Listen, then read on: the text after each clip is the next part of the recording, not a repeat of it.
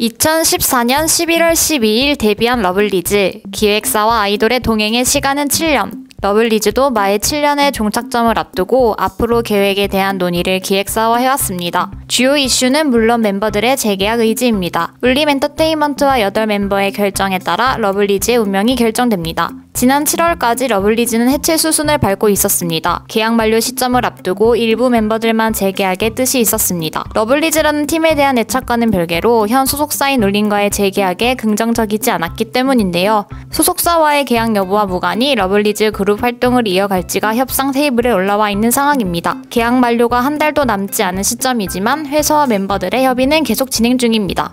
애타는 건 팬들입니다. 러블리즈의 마지막 활동은 지난해 9월 낸 미니 7집 러블리즈는 평균 5, 6개월 간격으로 신보를 발표해왔습니다. 다만 미니 6집과 7집 사이엔 1년 4개월의 공백이 존재했습니다. 마지막 활동 후 계약 만료까지는 1년 2개월이 남았고 팬들은 이 사이 어떤 형태로든 컴백이 있을 거라 예상했죠. 지난해부터 멤버들은 활동 방향에 대한 심경을 직간접적으로 표현해왔습니다. 류수정은 러블리즈 음악을 자랑스러워하고 있고 팀 색깔을 유지하고 싶은 마음이 크다는 걸 알았다. 러블리즈 음악을 얼마나 오래 할 수 있을지가 관건이다. 7년이 길다면 길지만 짧다면 짧은 시간이지 않나. 앞으로도 지금처럼 러블리즈로 꾸준히 하고 싶다고 밝혔습니다. 미주, 지수, 예인 역시 지난해 텐아시아와의 만남에서 멤버들이 눈만 마주치면 컴백에 관한 이야기를 한다. 컴백 언제 할까? 노래가 좋았으면 좋겠다. 이번 콘셉트는 뭘까? 등을 주제로 얘기한다고 말했습니다.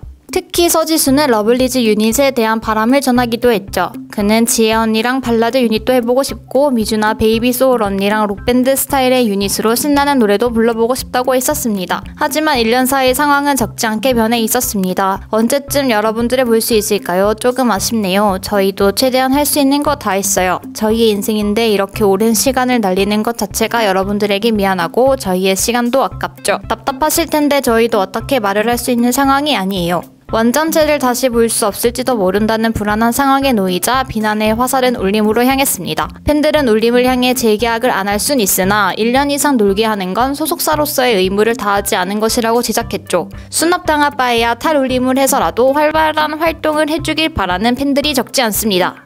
테너시아 우빈 기자가 연예인의 일기를 다시 씁니다. 상자 속에 간직했던 일기장을 꺼내 읽듯 그날을 되짚고 오늘의 이야기를 더해 최근의 기록으로 남깁니다. 우빈의 연중 일기